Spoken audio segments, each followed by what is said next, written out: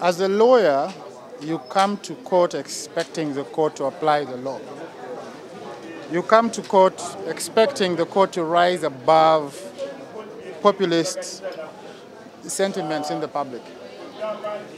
Unfortunately, on this occasion, this court played to public sentiments by quoting public sentiments, by quoting unverified, unsubstantiated allegations of recruitment of children into homosexuality.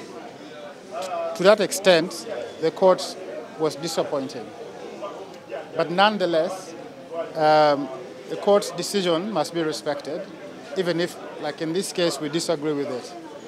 I think that we will look at the judgment, study it, and quite possibly take this to the Supreme Court because you cannot allow this kind of judgment to remain on the law books. That a court of law is citing unverified allegations, is citing public sentiments, is citing unverified customs and customary values of a very diverse society. I think that that is disappointing.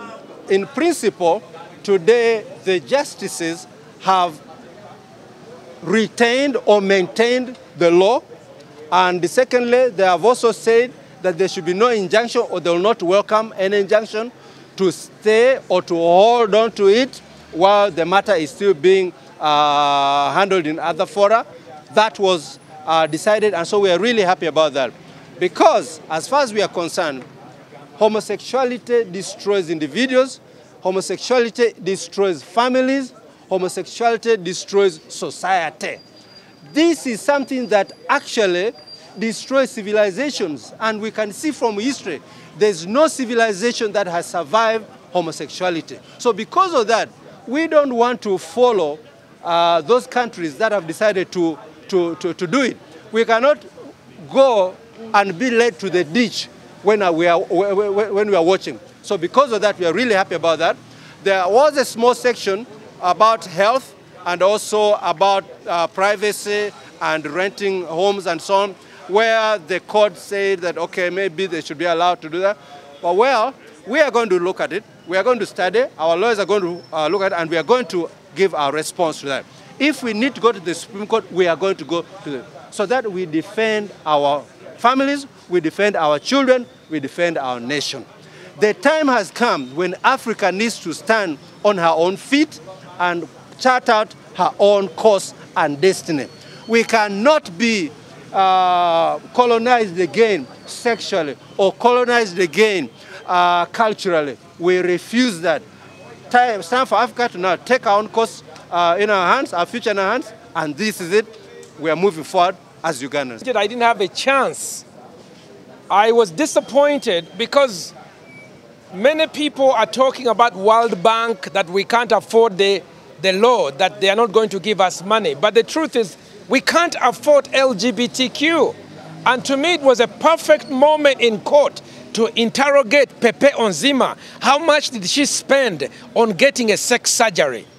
The average sex surgery is about $25,000. Now, if only 1% of Uganda's young people take gay identity LGBT theory and they take sex surgery, that's $25,000 times half a million people. Uganda can't afford those billions. Not only that, they must have a lifetime of uh, hormones, they must have a, a, lifetime of gels, they must have a lifetime of steroids. This is big pharmaceutical, hooking our children to this. The second thing we can't afford is HIV AIDS. The new HIV AIDS law means that Ugandans are the ones who are supposed to pay for treating people with HIV. Me, my brother Steve. Now, if more people get HIV, that means the taxpayers are mandated to pay. And many of you know we are struggling to raise taxes. We are told that people who practice homosexuality are 10 times bet more likely to get and spread HIV. This is a study all over sub-Saharan Africa. 2009, the Lancet magazine published those papers even up to today. Any group that is 10 times, that's 100% more likely to have and spread HIV. The average cost of treating someone with HIV in America is $50,000 per person. 50. If only 10% of Ugandans get HIV as a result of this, we are going to be bankrupted. So the judgment today was protecting not only our culture, but protecting Uganda from sliding into economic bankruptcy, spending malaria money in buying Sodome girls. We can't spend money of helping women to give birth in sex changes.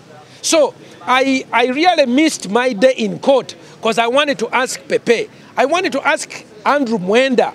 Andrew Mwenda, in what capacity do you defend homosexuals? Are you yourself a homo homosexual? How do you speak for them? Because we have seen many people come here, including Andrew Mwenda, crying, oh, you can't do this, you can't. But Andrew Mwenda, in what capacity do you speak for homosexuals?